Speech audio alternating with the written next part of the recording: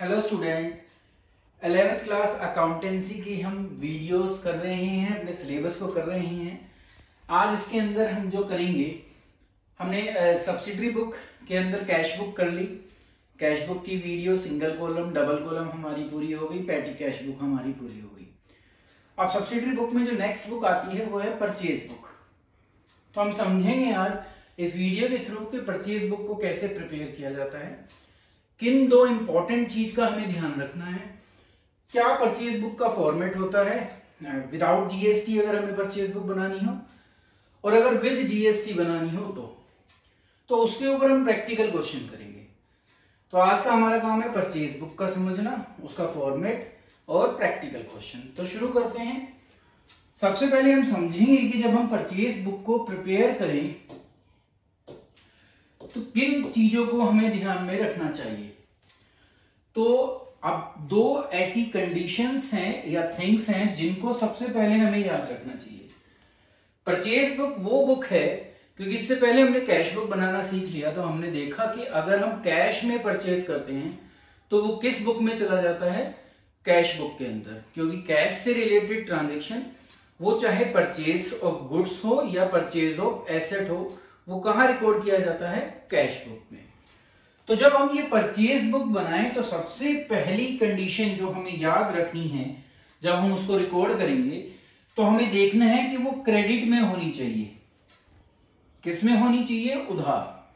आपने उसकी पेमेंट अब तक ना की हो।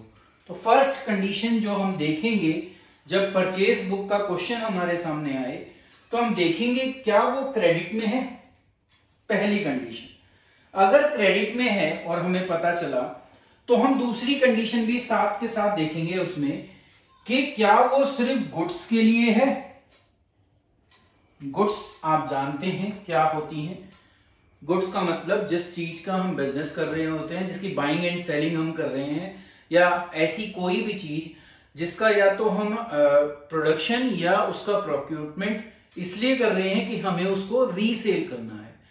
तो उसको कहा जाता है गुड्स और फिर दूसरी क्या होती है? दूसरी को हम एसेट कहते हैं। तो वो एसेट नहीं होनी चाहिए। अब एसेट क्या होती है? एसेट वो होती है जिसको हम इसलिए परचेज करते हैं कि हमें उसे क्या करना है? रीसेल नहीं करना है। दूसरा, उसको हम लॉन्ग टर्म तक यूज़ करते हैं। तो ये चीज़ जो है, ये हम इसलिए या तो बनाते हैं इसको और या इसको परचेज करते हैं क्योंकि हमें इसको क्या करना होता है? रीसेल तो दो कंडीशन देखनी है जब परचेज बुक की बात की जाए। कि एक तो वो क्रेडिट में वो ट्रांजेक्शन हो मतलब कि आपने पेमेंट ना की हो, क्योंकि अगर पेमेंट हो जाएगी तो कहाँ चली जाएगी? कैश बुक में।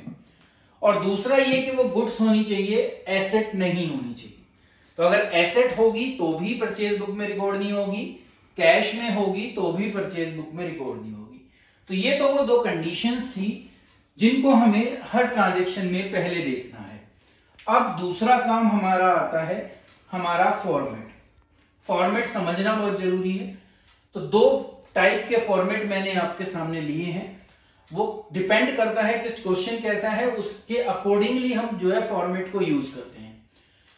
ये जो फॉर्मेट है, ये वो फॉर्मेट है जिसके अंदर हमारा जो है जीएसटी वाला पोर्शन नहीं है। तो अगर जीएसटी का क्वेश्चन नहीं है तो हम इस फॉर्मेट के थ्रू अपनी एंट्रीज को रिकॉर्ड करेंगे। बुक्स जिसका नाम है, जिसकी हम बुक्स बना रहे हैं परचेज बुक बनती है। पहला कॉलम डेट दूसरा इनवॉइस नंबर इनवॉइस नंबर जो बिल का नंबर होगा, जो सपोर्टिंग डॉक्यूमेंट जिसको हम कहते हैं सोर्स डॉक्यूमेंट जिसको हम कहते हैं, वो। दूसरा, किसने हमें ये सप्लाई किया? तो नेम ऑफ़ द सप्लायर भी यहाँ पर लिखा जाता है, या जिसके अकाउंट को हम क्रेडिट करते हैं जनरल एंट्री में, उसका नाम लिखा जाता है। और फिर जो भी उससे लिया, वो लिखा जाता है। लेजर फॉलियो आपको बता ही रखा है मैंने कि लेजर के पेज का नंबर लिखा जाता है। डिटेल को हम जब यूज़ करते हैं, जब ट्रेड डिस्काउंट और कई सारी आइटम्स हम एक साथ परचेज कर रहे हो तो उसको हम डिटेल में लिखते हैं। और फिर जो उसका टोटल आता है, वो फिर यहाँ पर अमाउंट हम लिख देते हैं। इस तरीके से अगर तीन चार हमारे सप्लायर होते हैं तो सबकी एंट्री करने के बाद यहाँ पर हम टोटल निकालते हैं। और उस टोटल पर लिखते हैं कि परचेज अकाउंट और परचेज अकाउंट हमेशा आपको डेबिट मिलेगा। तो ये हमें लास्ट में लिखना होता है। ये जब यूज़ करते हैं हम, जब जीएसटी या जो अदर एक्सपेंसेस हैं regarding the purchase of goods mention ना हो तो हम इस फॉर्मेट को यूज़ कर सकते हैं। वैसे इसमें जीएसटी वाला भी हो सकता है बट जी जब जीएसटी वगैरह दे रखा हो तो एडवाइजेबल ये है कि हम इस फॉर्मेट को यूज़ करें। ये फॉर्मेट बिल्कुल इसी की तरह है कुछ डिफरेंस नहीं है। बस क्या हुआ कि कोस्ट का कॉलम अलग कर दिया। जो जीएसटी हैं जितने भी टाइप के वो अलग कर दिए। या तो ये दो जीएसटी मिलेंगे हमें जब इंट्रा स्टेट होता है। और अगर इंटर स्टेट है मतलब कि एक दो, दो स्टेट के बीच में डीलिंग है तो आईजीएसटी मिलेगा। अगर विद इन स्टेट डीलिंग है तो सीजीएसटी और एसजीएसटी मिलेगा। और बाकी जो एक्सपेंसेस होते हैं, उसके लिए भी मैंने एक कॉलम बना रखा है। तो इस कॉलम में हम एक एक एक्सपेंस या एक एक अमाउंट को अलग अलग कर देते हैं। टोटल अमाउंट में टोटल आता है उसी तरीके से। डिटेल में जो आप परचेज करते हैं, उसकी डिटेल आती है और हर एक कॉलम का टोटल हो जाता है। परचेज अकाउंट में फिर हमें डेबिट करना होता है। कोस्ट वाला जो अमाउंट होता है वो। ठीक है? तो परचेज अकाउंट में क्या डेबिट होगा? कोस्ट वाला अमाउंट ठीक है? तो ये हमारे दो फॉर्मेट है, इनको यूज़ कर कर अब हम क्वेश्चन करेंगे। फॉर्मेट को आपको समझना बहुत ज़रूरी है। तो क्वेश्चन के थ्रू ही हम इसको इजीली समझ पाएँगे। तो ये वो, ये फॉर्मेट लिया है, क्योंकि इस क्वेश्चन के अंदर जीएसटी नहीं था तो पहला क्वेश्चन हमने लिया है विदाउट जीएसटी वाला। इससे जो नेक्स्ट वीडियो लाऊँगा मैं इसके ऊपर, इसी टॉपिक के ऊपर, वो होगी विद जीएसटी तो अभी हम विदाउट जीएसटी वाले क्वेश्चन को देखते हैं। दो कंडीशन आपको याद रखनी है। ठीक है? एक तो वो गुड्स होनी चाहिए। गुड्स का मतलब एसेट नहीं होनी चाहिए। और दूसरा, वो क्रेडिट में होनी चाहिए। तो ये दो कंडीशन हमें याद रखनी है, जिनको हम फुलफिल करेंगे। अब कहा गया कि एंटर द फॉलोइंग ट्रांजेक्शन ये एनसीआरटी का क्वेश्चन है।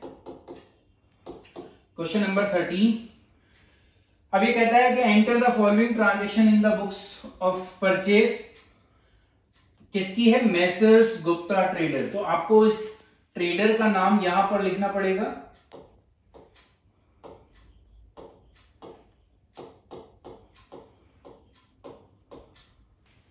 ठीक है? अब डेट में 2017 दिया हुआ है और जुलाई मंथ दिया हुआ है तो वो हम यहाँ पर लिख लेंगे। अब देखिए, पहली ट्रांजैक्शन पर जब जाएँ, जुलाई फ़र्स्ट की ये ट्रांजैक्शन है और ये हमें बताती है कि बोट बोट का मतलब परचेज करना, पहला, पहली चीज़ आइडेंटिफाई हुई। फिर लिखा कि राहुल ट्रेडर से आपने कुछ खरीदा। इनवॉइस नंबर लिख दिया। इनवॉइस नंबर अगर दिया हो ना क्वेश्चन में तो हमें पता चल जाता है कि वो जो है क्रेडिट ट्रांजेक्शन है। क्योंकि जब कैश की ट्रांजेक्शन होती है तो वहाँ कैश मीमो नंबर होता है। तो इनवॉइस नंबर हमें ये बताता है कि ये जो ट्रांजेक्शन है, ये किसमें है? क्रेडिट में है। इनवॉइस नंबर हमें यहाँ दिख रहा है। वो इनवॉइस नंबर हम यहाँ लिख देंगे, जितना भी दिया हुआ है। नाम क्या है इस ट्रेडर का? राहुल। तो हमें सबसे पहला काम क्या करना था? उस ट्रेडर का नाम लिखना था। तो हमने राहुल ट्रेडर्स यहाँ पर लिख दिया।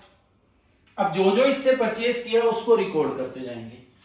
मेरा स्टेशनरी का बिज़नेस है। इस क्वेश्चन को अगर हम देखें तो हमें यही समझ में आता है कि हमारा किसका बिज़नेस है? स्टेशनरी का। तो हम इन सारी चीज़ों को यहाँ पर रिकॉर्ड करना शुरू करेंगे। देखिए, सबसे पहले दिया हुआ है कि 40 रजिस्टर आपने परचेज किए हैं।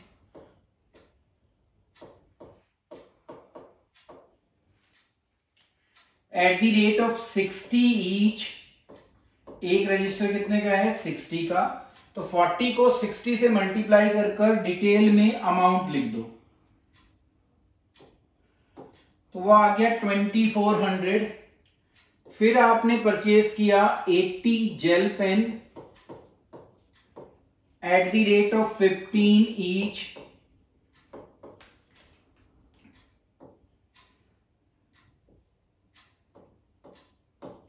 twelve hundred आ गया। फिर आपने परचेज किया fifty notebook at the rate of twenty each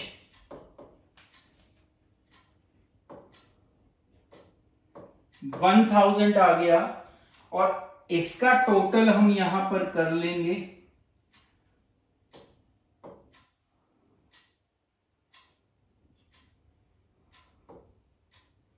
ये ये आएगा, ठीक है?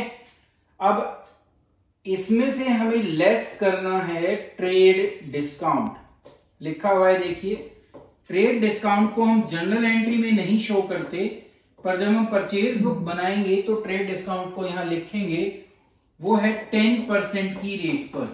तो जो हमारा अमाउंट आया, इसका टेन परसेंट हम निकालेंगे और वो इसमें से माइनस कर कर बाहर लिख देंगे। तो ये होता है ट्रेड डिस्काउंट को शो करने का काम। अब जब इसको माइनस करते हैं तो ये four thousand one hundred forty आता है।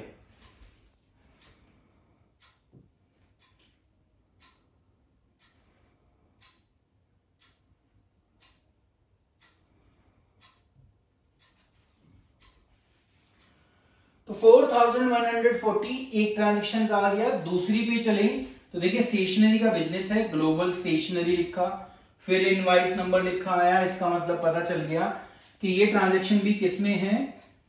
क्रेडिट में है। एक फुलफिल हुई, दूसरी गुड्स है, क्योंकि स्टेशनरी है तो दोनों ट्रांजेक्शन जो है कंडीशन हमारी फुलफिल होती है।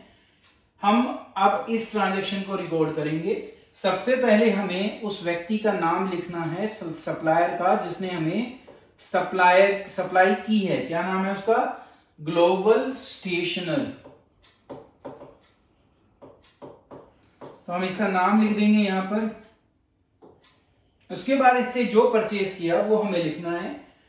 डेट है जुलाई 15 देखिए क्या क्या खरीदा आपने? 40 इंक पेन खरीदे। Ink pad at the rate of 8 each 320 50 files आपने परचेज की हैं। At the rate of ten each five hundred हुआ। उसके बाद ट्वेंटी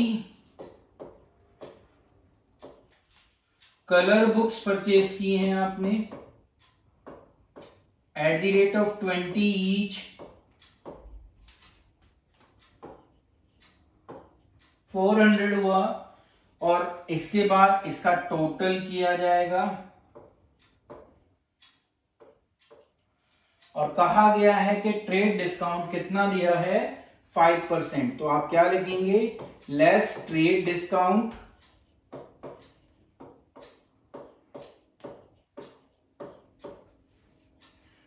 किस रेट से? फाइव परसेंट से। फाइव परसेंट अगर हम निकालते हैं तो सिक्सटी वन रुपीज़ का ट्रेड डिस्काउंट आता है। वो हमें माइनस करना है।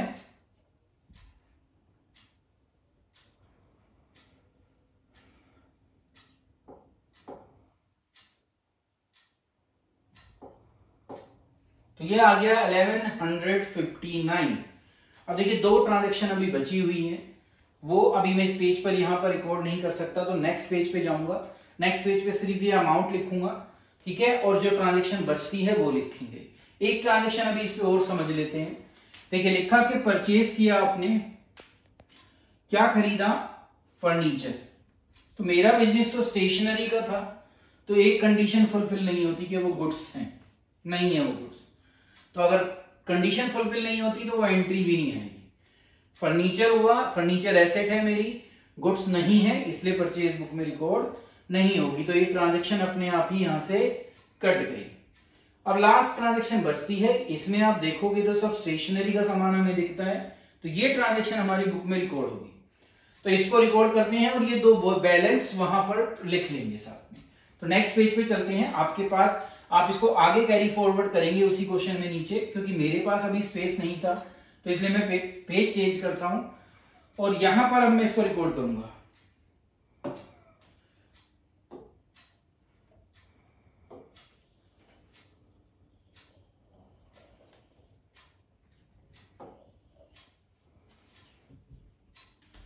एक अमाउंट जो हमारा पहले से चला आ रहा है वो है फोर थाउज़ेंड फोर्टी और दूसरा जो हमारा आया था, वो आया था 1159 ये अमाउंट हमारा राहुल ट्रेडर का है, सिर्फ़ मैं आपको दिखाने के लिए लिख रहा हूँ, ऐसे आपको नहीं लिखना, क्योंकि अमाउंट ऑलरेडी आपके चल रहे होंगे। और दूसरा था हमारा ग्लोबल स्टेशनर का, क्योंकि मैंने पेज चेंज किया है, इसलिए मैं ये दोनों अमाउंट लिख रहा हूँ। आप एक ही में कैरी फॉरवर्ड करेंगे तो ये लिखने की ज़रूरत नहीं पड़ेगी, ये ऑलरेडी वहाँ पर है, इस तरीके से। आपको इसके नीचे ही काम करना था पर मेरे पास स्पेस खत्म है इसलिए मैं इस तरीके से कर रहा हूँ। अब मैं ये वाली एंट्री शुरू करूँगा।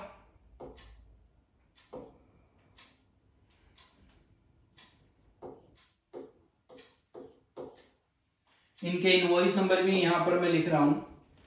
अब मेरी जो ट्रांजेक्शन है, वो 25 को है। यहाँ पर इनवॉइस नंबर भी है। तो देखिए, ये तो पता चला था कि ये हमारा सारा सामान गुड्स है, एक कंडीशन फुलफिल हुई थी। दूसरी भी करनी थी क्रेडिट में है क्या? तो इनवॉइस नंबर आया तो पता चला कि हाँ क्रेडिट में है। तो इसका मतलब रिकॉर्ड हो सकती है। तो अब हम उस इनवॉइस नंबर को यहाँ लिख लेंगे। ये याद रखना है कि आपको इनवॉइस नंबर मेंशन करना है। अब किससे खरीदा है आपने? मुंबई ट्रेडर से। तो आप यहाँ लिख देंगे, मुंबई ट्रेडर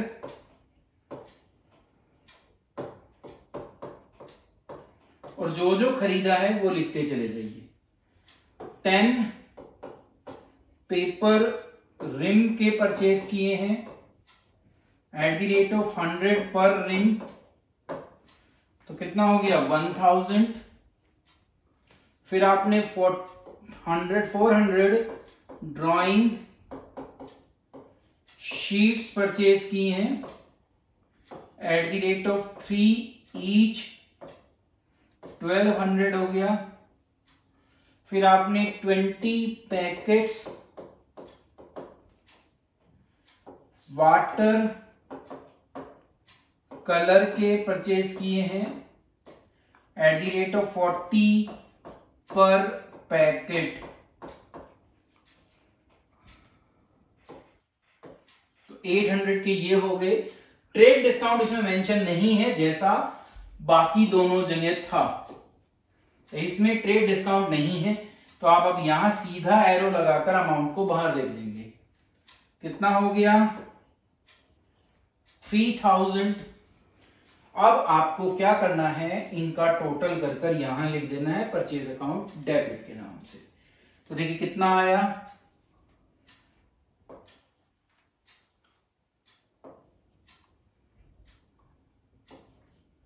तो ये हमारा इसका आंसर है और इस तरीके से हम परचेज बुक को बनाते हैं, अगर वो अभी बिना जीएसटी के हो।